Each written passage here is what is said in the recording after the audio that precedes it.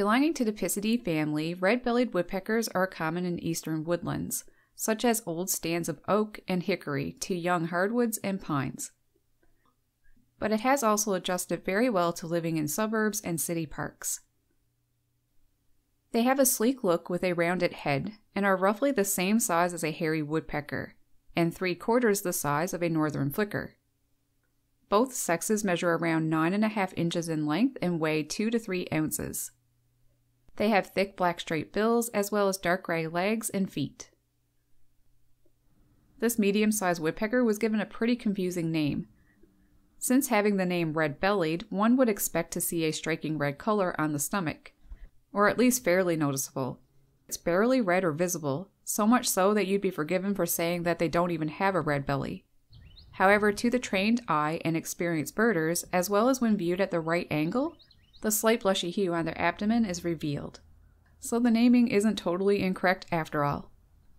When trying to identify this bird, it's probably better to note the zebra-like black and white pattern on their back instead of looking for their faint reddish belly. One other obvious feature is their flashy red head and nape, a detail that caused some people to refer to them as red-headed woodpecker, which actually can't be used due to a somewhat rarer species already owning that name. When discerning between female and male red-bellied woodpeckers, only the males have a bright red cap from their forehead to the base of their neck. Females have red only on their neck. For the most part, they are birds of the southeast, and according to Audubon, in the first half of the 20th century, this species was declining in some northern areas. Currently, though, that's not the case anymore. They are even expanding their range to the north reaching as far as some southern locations of eastern Canada where they are more rare. It is thought that backyard feeders could be what has helped them grow further north. Overall, their number seems stable. Partners in Flight estimates the breeding population at 10 million. The species seems to be doing very well, and for this, they rate an 8 out of 20 on the Continental Concern score. The oldest known red bellied woodpecker was a male in Georgia and at least 12 years, 3 months old when it was identified in the wild by his band. Pretty cool.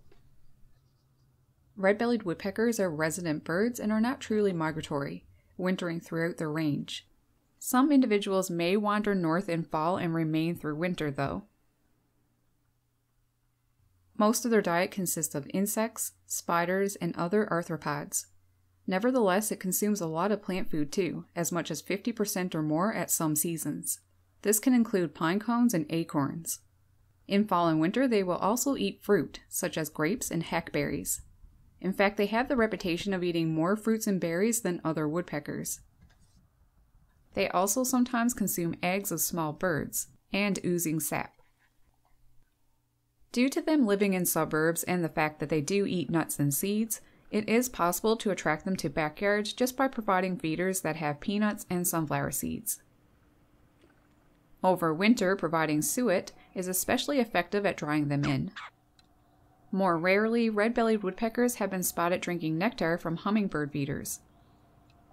Having these guys visit adds some bright color and sometimes entertaining action. For those who prefer the more natural route to attracting birds to their backyard, Try leaving dead trees if possible, as this may encourage the birds to forage naturally or even nest in your yard. If there are berry trees like mountain ash or hawthorn in your garden, this may bring them in fall and winter to forage. A pretty neat thing about this woodpecker is that they can stick their tongue out nearly two inches past the end of the beak. Also, the tip of their tongue is barbed. That, along with their sticky saliva, a feature common in woodpeckers, allows them to easily grab prey deep in crevices or seeds from a feeder. Interestingly, males have longer, wider tipped tongues than females. This may be to allow a breeding pair to forage in slightly different places on their territory and maximize their use of available food.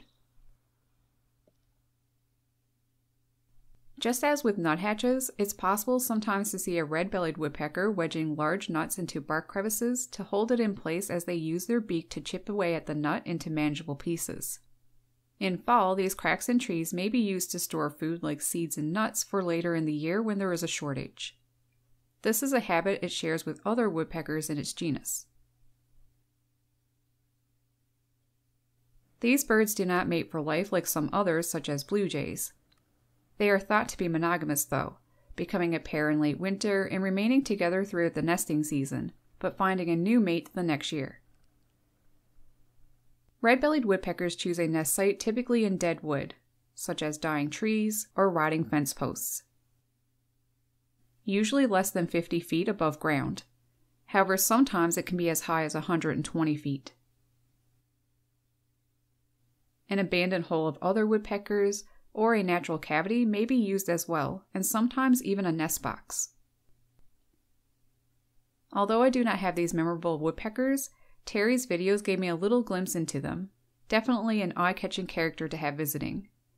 I enjoyed learning about them as I did some research, especially about them expanding their range northward. I hope to see one someday in my area. I've always wondered why they were called red bellied woodpecker, though, because anytime I saw pictures, there was no obvious red belly. And I never, for whatever reason, took an interest to find out what that was all about, so it was nice to learn that they do actually have a reddish hue on their stomach, it's just faint, that's all. In fact, barely visible in the field. It's pretty odd how they were given that name, especially since their head is much more striking in color. But I suppose since there is already a woodpecker called the red-headed, it can't be used. There is another very prominent feature they possess though. Their zebra-like black and white pattern on their back.